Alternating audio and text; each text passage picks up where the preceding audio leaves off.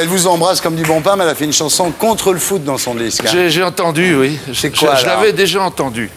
C'est-à-dire que c'est insupportable tous ces samedis soirs où on n'existe plus parce que les mecs se vont- sont devant la télé à regarder Ouais. le match de foot, à hurler. J'y crois pas, j'y crois pas. Eh ben si Le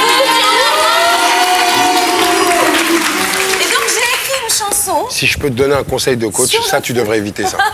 Fais la, non, cha- mais bien fais la. Conseil de coach. Où, j'explique qu'il faut finalement faire la poule. Ouais.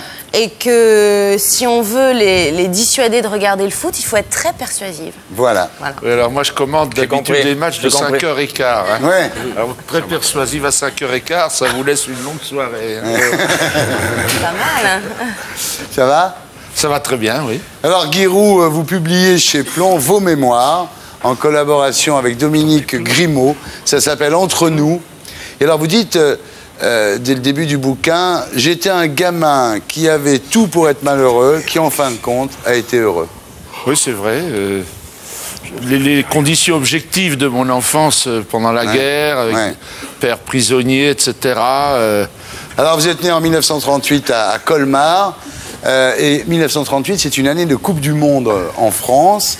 Et vous assistez à votre premier match de foot dans le ventre de votre mère. C'était Brésil-Pologne. c'est ça.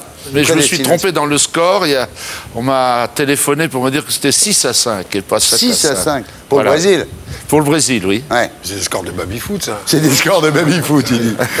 faisait des vrais scores de baby-foot, De tennis. Alors l'année suivante, en 1939, votre grand-père, qui, qui perçoit la, la montée du nazisme euh, dans l'Allemagne voisine, emmène toute la famille en Bourgogne, à Appoigny. Et là, pendant l'occupation, la, la commandantour s'installe au, au château d'Appoigny. Et en fait, c'est en voyant des Allemands jouer au football sur la place du village que vous commencez à aimer ce sport. Oui, et puis l'instituteur aussi nous emmenait sur le, sur le terrain de foot. Et, et le dimanche, les matchs de foot qui n'étaient pas joués par des Allemands étaient le- la seule distraction du village. Donc on allait aussi voir les matchs de foot. Ouais. Votre père est prisonnier à cette époque, hein, il le sera jusqu'en 1945.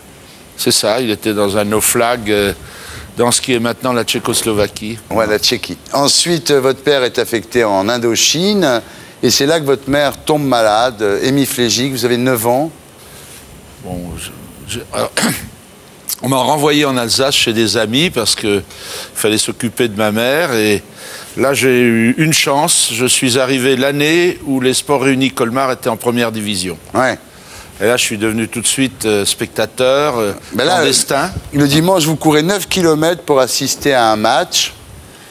Et vous devenez ramasseur de balles attitré du club, quoi. Oui, parce que quand j'ai voulu entrer, on m'a dit les enfants non accompagnés n'ont pas le droit d'entrer. Alors j'ai attrapé un imperméable et je me suis trouvé accompagné. Vous cessez de croire en Dieu à l'âge de 13 ans quand vous accomplissez un un pèlerinage pour guérir votre mère. Et comme elle ne guérit pas, vous n'y croyez plus. Un, un ecclésiastique m'avait mis un petit peu le marché, m'avait dit si tu fais le pèlerinage, on n'avait pas de portable pour savoir, mais quelques jours plus tard, euh, Ouais. alors là c'était une rupture. Mais bon, je ne suis pas devenu anticlérical, je, je me suis aperçu depuis que la moitié de l'humanité croit en Dieu, en un Dieu, et l'autre moitié n'y croit pas. Ouais. Et je ne suis pas de ceux qui pensent que l'autre moitié est, est- est idiote. quoi. Ouais. On verra. On verra, oui. Alors, à 14 ans, vous arrivez à Auxerre, à l'AJA Auxerre, et donc à l'époque, vous rêvez encore de, de devenir joueur professionnel. Et en 1960, vous allez en Angleterre pour vous entraîner avec le Crystal Palace. Je, je- je faisais tous les concours pour gagner un peu d'argent dans, dans les vacances. Et là, c'était un concours officiel et j'étais étudié le sport en Grande-Bretagne. J'étais le joueur numéro 29 à Crystal Palace pendant un mois. Ouais. À l'époque, vous croyiez encore que vous alliez percer, quoi? Euh, non, non, là, c'était la limite. J'avais déjà demandé et je pensais que je n'y arriverais pas. J'arriverais pas. Je voulais être international. Et à Limoges, il y avait Armand Pinverne qui, était, qui revenait de la Coupe du Monde euh, en Suède avec l'équipe de France. Et j'ai dit, si j'arrive à être meilleur que lui, euh, je continue, sinon j'arrête. Vous n'êtes pas assez rapide pour devenir un, un grand Voilà, on joueur. m'a dit, t'es trop lent. Bon, Ouais. Vous avez quand même joué jusqu'à l'âge de 34 ans. Oui, j'ai même j'ai joué très très tard. J'ai fait mon dernier match à 57 ans, enfin un quart d'heure. Mais bon, euh, j'ai joué dans l'équipe d'Auxerre au début, j'étais entraîneur-joueur. Ça a été dur à prendre la décision de ne plus jouer Non, non, non, c'était, je m'en étais déjà aperçu, j'étais trop lent. Et simplement, ils m'ont, ils m'ont permis de vérifier. Et j'ai eu la chance que Auxerre euh, ait besoin à ce moment-là d'un entraîneur. Et j'ai posé ma candidature et j'ai pu être embauché à Ouais. ce moment-là. Alors ensuite, vous racontez la saga d'Auxerre, donc euh, surtout l'année 78-79. Vous dites c'est l'année bénie. D'abord, il y a le film euh, Coup de tête de Jean-Jacques Hano qui est, qui est tourné à Auxerre, hein, avec Patrick Devers. Avec notre équipe comme Ouais, euh, ouais. figurant et Patrick Devers dans notre équipe. Ouais, C'était, je crois, deux ans avant sa mort. ouais. Et déjà, Jean-Jacques Hano nous avait demandé de, de la- de l'accompagner. Il allait manger tous les soirs chez un, chez un joueur pour pas être tout seul. ouais. Et puis c'est l'année aussi de la finale de la Coupe de France. Oui, alors que nous étions en deuxième division et euh, amateurs encore. Ouais. À ce moment-là, il y avait des amateurs dans la deuxième division. Tout le monde travaillait. J'étais voir les employeurs un par un pour qu'ils me donnent une semaine pour préparer l'équipe. Il y avait plus de monde ce jour-là dans les rues d'Auxerre que le jour de la Libération, dites-vous. Oui, je, Max Meignier, qui vient de disparaître, euh, était venu faire l'émission Les routiers sont sympas au Auxerre. Et il a fait l'émission du toit de sa Mercedes parce qu'il ne pouvait plus avancer. Ouais. Et on nous, nous étions au vert à, à Rueil en veille de match. Et on m'a dit après que il y avait plus, Auxerre était noir de monde plus qu'à la Libération, c'est vrai. Été le grand déclic, c'est là que vous avez commencé à signer des autographes? Oui, la- en partant en vacances, le pompiste m'a demandé de signer. mais je- Ouais. J'ai dit, mais ça y est, j'ai donné mon chèque. Il m'a dit, non, il faut signer sur le papier d'à côté. Voilà, alors en 1982, c'est la création du centre de formation.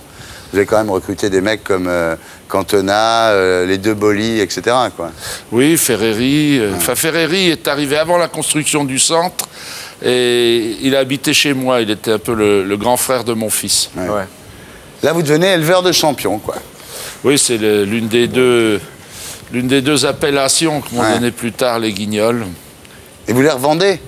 Ça permet d'acheter des beefsteaks aux autres qui suivent. C'est ça le Comme dans la système d'Auxerre. Comme, dans la musique, ouais. Ouais, ouais, ouais. Alors, c'est l'époque, évidemment, c'est la légende, mais l'époque où vous vérifiez les, les compteurs kilométriques de vos joueurs pour savoir s'ils sortent le soir. C'est pas tout à fait la, la légende. Je l'ai fait longtemps jusqu'à ce que les voitures modernes euh, n'affichent plus les kilomètres. Ouais. Après, j'étais obligé d'avoir des accords avec les contrôleurs euh, de, de péage d'autoroute. Quand on est footballeur à Auxerre, la, la grande sortie, c'est de venir à Paris. hein. Ouais. Ok, ouais, ouais, ouais. Alors, ils avaient trouvé la parade, ils, ils allaient prendre l'autoroute à Joigny. Ouais. Sauf que les gens de Joigny étaient avec moi aussi. Oh là là. T'en as plein les bottes, là. hein. Mais il est très malin, tu sais ce qu'il faisait? Il a, il a fait retarder un avion d'Air France hein, pour, pour avoir votre euh, joueur euh, à temps. La- dans la finale, euh, Benjani, qui est du Zimbabwe, devait aller jouer contre le Gabon le lendemain à Harare. C'est Ouais. pas à côté. Il faut passer par Johannesburg. Et la finale devait finir à 30, à à 22h30, elle a fini à 37, et l'avion était à 23h10. Alors, il aurait presque été à l'heure, mais tout d'un coup, on m'a dit, il y a contrôle antidopage, il ne peut pas partir. Parce qu'un joueur qui part et qui est tiré au sort, il est suspendu deux ans s'il n'est pas là. Ah oui. Donc, on l'a retenu, ensuite, il est parti en moto. Et euh, bon, j'ai eu des complices, voilà. Mais la direction d'Air France avait refusé. Ouais. Il m'avait dit, on a retardé une fois un avion pour le président de la République, et on a eu une page dans le canard enchaîné. Ouais. Donc on ne peut pas retarder un avion. J'étais étonné parce que l'été précédent, j'étais allé à la Guadeloupe et on était parti trois heures en retard. Ouais. Ouais, parce qu'il avait tabassé une hôtesse. Il y a, il y a plusieurs façons de, de retarder les avions. hein. Et, là, et là, vous avez appelé qui L'entourage du pilote pour faire retarder l'avion. Ouais, le pilote m'a dit, moi je pars quand on me dit de partir. Voilà, d'accord. Alors il a fallu remonter la filière, quoi. Ouais. Malin, il est malin ce Guillaume, c'est Tu lui dis que je suis martiniquais, pas guadeloupéen. Ouais. Ah oui, oui. Il dit qu'il est martiniquais, pas guadeloupéen. Oui, mais l'avion pour aller à la Guadeloupe s'arrête à la Martinique. Voilà. Aussi, ouais. Il t'a niqué. Et voilà. Alors vous êtes un- 1-0. On apprend en lisant votre bouquin, Guy, que vous êtes un grand superstitieux. Hein J'étais. Parce que la fleur jaune, par exemple, chaque fois que vous allez dans un endroit, vous cherchez. Une- oui, les, les jours de match, il fallait que je trouve une fleur jaune le matin en faisant mon footing. Et pratiquement, je ne croyais pas qu'il y avait des fleurs toute l'année. Et on arrive à trouver des petites fleurs jaunes dans les, dans les champs ou dans les bords de les route. Et vous mettiez votre voiture toujours à la même place sur le parking aussi. hein Exact. oui. Ouais. Et fait, bon, on me la réservait, euh, on me la gardait pour que je puisse la mettre. Il y a une anecdote très très dans votre bouquin, c'est ce type qui vous appelle pour vous donner les résultats.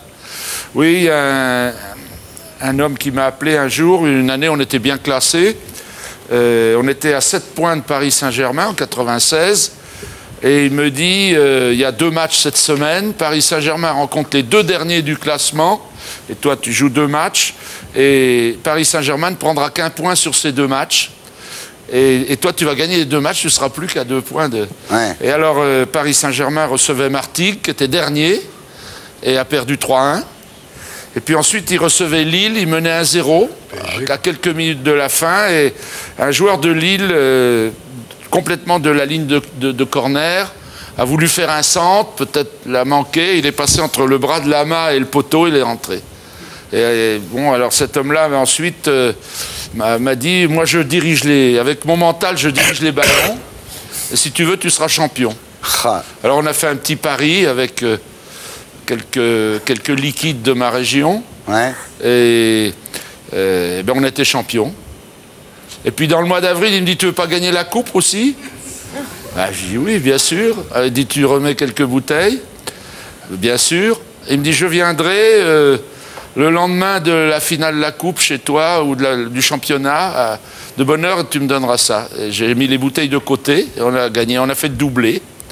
Le doublé, c'est très rare. Il n'y en a eu que neuf dans l'histoire de France, du football. Et Lyon, par exemple, n'y arrive pas.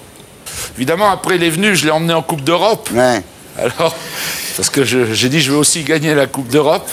Il faisait le tour du quart, j'avais du quart adverse, j'avais honte. Et, et puis, un jour, ça n'a plus marché, forcément. Ouais. Il était quoi C'était un, marabout euh, Oui, enfin, c'était un, un homme du Sud-Ouest. euh, il pensait qu'il avait un pouvoir. Alors peut-être qu'il m'avait persuadé et que j'avais une. Parce qu'un entraîneur, son métier, c'est de persuader les joueurs. C'est étonnant cette histoire, non? Oui, bien sûr, ça m'a toujours intrigué. Et depuis, j'ai plus jamais rencontré quelqu'un comme ça. Euh, Alors j'ai eu des marabouts sénégalais qui m'ont écrit, qui m'ont. Et il y en a un jour qui m'a dit, qui m'a envoyé un petit bout de bois comme ça dans l'enveloppe. Il m'a dit tu, tu le colles dans le protège tibia de Franck Sylvestre, euh, qui n'a pas encore marqué de but cette année, et il va marquer.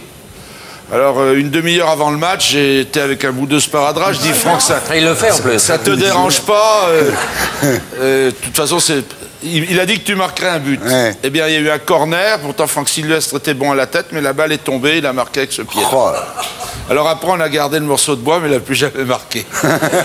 enfin, chez nous, parce qu'après, il a marqué beaucoup. ouais. Et alors, le double pontage coronarien, c'est dû à quoi? C'est dû au stress? Peut-être quelques petits excès alimentaires. euh, Ouais. Le stress aussi, sûrement. Une contrariété à Ouais. l'époque. Euh, voilà, bon. Alors, il a dû un double pontage coronarien sans arrêt maladie. C'est quand même le, le seul mec dans l'histoire de la sécurité sociale. hein oui, c'est vrai. Le, le secrétaire du club a oublié de faire l'arrêt maladie. Ouais. Et bon, euh, aussi j'avais j'avais 16 mois de congé non pris. Ouais. Alors on n'était pas à un mois près. hein. Alors, vous dites dans le bouquin que si c'était à refaire, vous, vous seriez entraîneur, mais à Londres. Bah, je serais parti euh, vers l'âge de 40 ans. J'aurais révisé mon anglais scolaire euh, avec Ouais. intensité et je serais parti en Angleterre. Oui, pour deux raisons. Euh, la première, c'est qu'il y a une ambiance de football formidable. Les stades sont toujours pleins. Euh, C'est vraiment des gens. Tout le peuple aime le football. Puis la deuxième raison, quand même, c'est que c'est pas tout à fait la même fiscalité qu'en France. Pour- Il y en a pas. enfin, il y en a, mais à la source. Ouais. Donc les salaires qui sont versés sont en net. Bon, en France, ils sont Ah, en il est brut. génial. Bon, ben, je crois qu'on va faire une interview radin.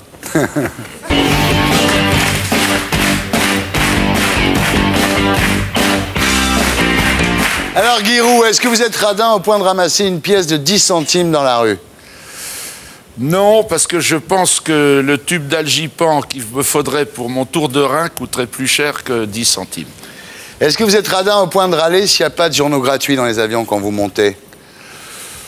Non, je, je m'en veux quand je, les ai dés- quand je suis arrivé en avance à l'aérodrome et que j'ai déjà acheté l'équipe et qu'elle est dans le avion.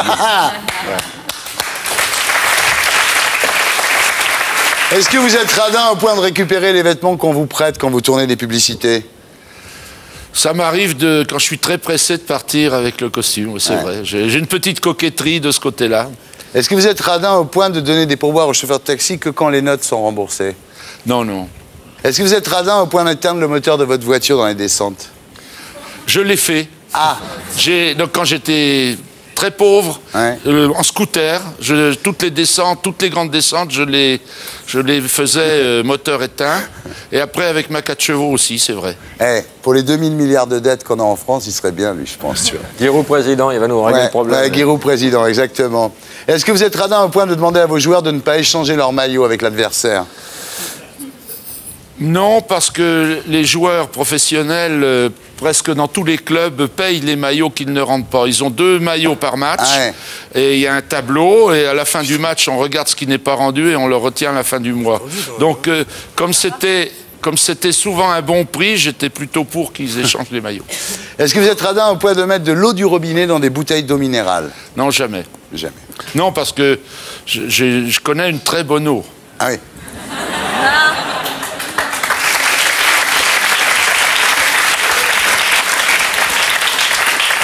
Est-ce que vous êtes radin au point d'offrir des cadeaux promotionnels à vos amis à Noël Jamais. Est-ce que vous êtes radin au point d'économiser vos mots pendant le commentaire d'un match Ah non, non, là, c'est.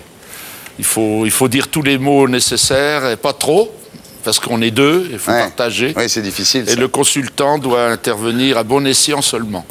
Quand vous venez à la télé, là, par exemple, là, dans les loges, là, vous, vous repartez avec des fruits, non? Aujourd'hui, il n'y a pas de fruits. Ah.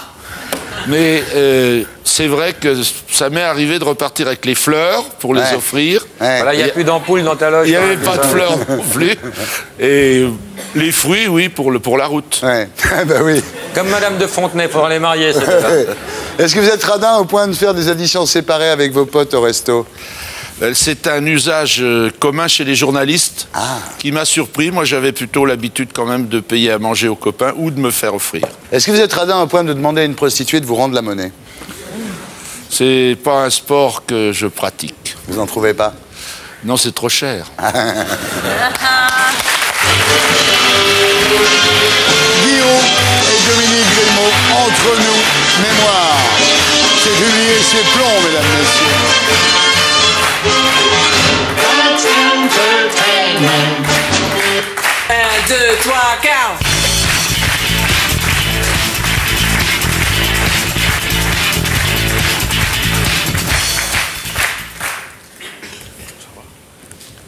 Faut que je lise. Oui. Alors, carte sélectionneur national. Vous devez dire quel joueur vous auriez pris et pas pris à la place de Raymond Domenech. Ah, Bon, j'aurais pris les mêmes gardiens de but que lui. J'aurais pris Djibril Cissé et Boumsong, parce que c'est des joueurs qui ont joué à Auxerre. J'aurais beaucoup hésité euh, entre euh, Ribéry et euh, Pires. ouais. Bon, je vais vous faire une réponse quand même de Normand, parce que je ne peux pas discuter joueur à joueur. On va lasser mademoiselle. C'est déjà fait. On n'a pas beaucoup parlé technique.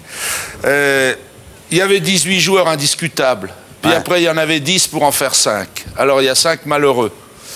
Il y a Julie, par exemple, qui est parti euh, euh, en Australie pour qu'on ne le retrouve pas si on avait besoin de lui. Euh, il y a Pires. Enfin, il y a 5 malheureux, voilà. Mais je trouve que la, la sélection est, est raisonnable, qu'on a pris ce qu'il y avait de meilleur, ou de presque meilleur dans, dans le football français. Maintenant, il faut que l'amalgame se fasse, qu'on ait un peu de chance, qu'on n'ait pas de blessures chez les joueurs majeurs, et ça peut passer. Ça peut passer.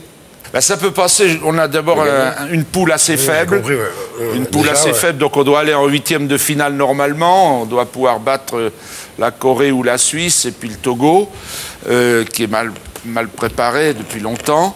Euh, ensuite, les huitièmes de finale, on peut avoir un adversaire à notre main. Et à partir des quarts de finale, c'est déjà bien. Ouais. Euh, là, il faut un peu de chance. Quand même, en- en- on a gagné, euh, par exemple, l'Euro en marquant un- le but en dernière minute. On a gagné au penalty dans certains matchs. Donc là, on a, ça, ça a bien été pour nous. faut que ça aille bien pour nous. En Corée, euh, Zidane est arrivé et s'est blessé tout de suite. Thierry Henry s'est fait sortir. Bon, ça n'a pas bien tourné pour nous. Voilà. Guillaume, Dominique Grimaud, entre nous, mémoire. C'est publié chez Plomb, mesdames, messieurs. Et pour être sûr de ne rien rater de Inalarditube, abonnez-vous et mettez un pouce bleu.